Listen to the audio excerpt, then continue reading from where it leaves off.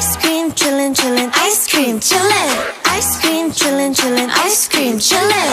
Ice cream chillin', chillin', ice cream chillin'. Ice cream chillin', chillin', ice cream. Hello you all, this is Dai and welcome to Dai It Yourself channel. If you are new to this, warmly welcome. Please hit that subscribe button and ring the bell for more videos from me. Oh my gosh, you guys, have you seen Ice Cream? The latest single from Blackpink. It's so good, it's so sweet, it's so fun, it's so yum. It's like everything. and you know what? As a DIY person, what I spot on the video, Mm-hmm. It's an ice cream in the video. Of course, these are not real, but they look so realistic and so yummy. And yes, today we will be making mock-up ice cream, the fake ice cream just like in the MV. I think in the MV they make this from resin. However, for us, we'll do a simpler recipe with the ingredients that could be easily found anywhere. So no further ado, let's get making!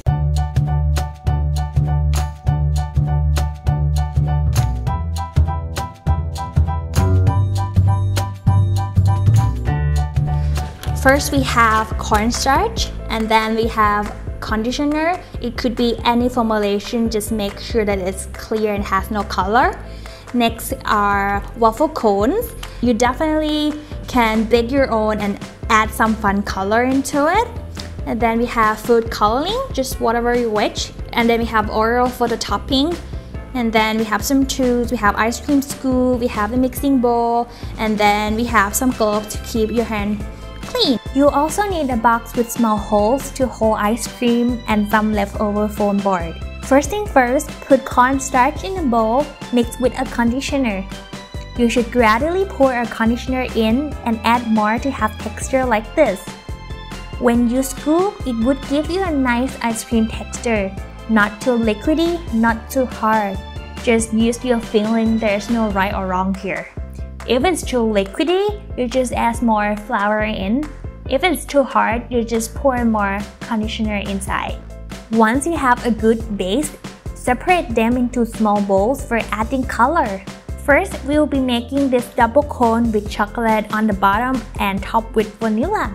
Add chocolate color into the mixture until it becomes consistent. For vanilla, we don't have to do anything as the original color is already off-white. Now let's prepare the cone. We break the foam board into small pieces and stuff them inside the cone so that we can fill the ice cream only from the top of the cone. Once it's full, Use a spatula to scrape some of the ice cream mix to put on the side of the cone for the overflowing edge. Don't put too far from the cone though, as the mixture could fall down. Do it around the cone. Don't flatten the surface, we just want this fluffy texture. Next, for the vanilla, we don't want to have the ice cream ball shape look, so I scoop and add more mixture bit by bit. Once I have the ice cream size that I want, I just put the vanilla on top of chocolate. Adjust the shape and use spatula to gently scratch the surface for a rough texture. And ta-da! The ice cream is ready to serve.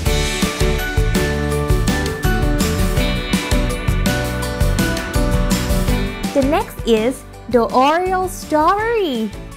Add pink color into the base. Mix until it's as pink as you want. Be careful not to put too much. Once the dough is ready, let's scoop. Put the ice cream on top of the cone. Now, time for toppings. Break Oreo into small pieces and decorate them as your heart desires. Then, here you go!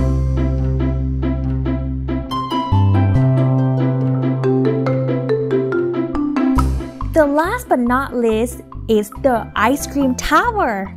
Prepare the base with the color you want.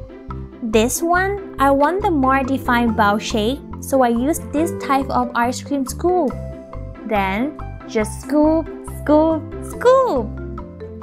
Place the balls on a tray and press the bottom with another scoop. So it will be easier to stack later. Have them dry overnight so they become harder and easier to manage. Once they are ready, use glue to stack them up. The ice cream is on the way.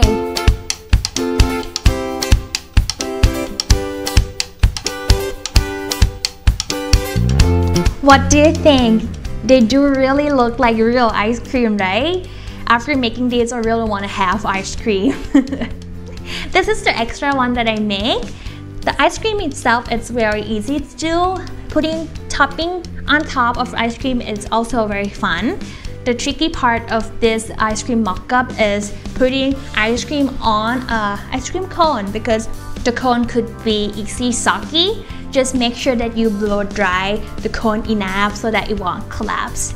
The easiest solution would be to put the ice cream on cups instead and the problem solved. you know, if you have any questions or suggestions on what I should do next, please leave them below. And if you like this video, please give me a thumbs up and hit that subscribe button for more video like this. See you guys again next video.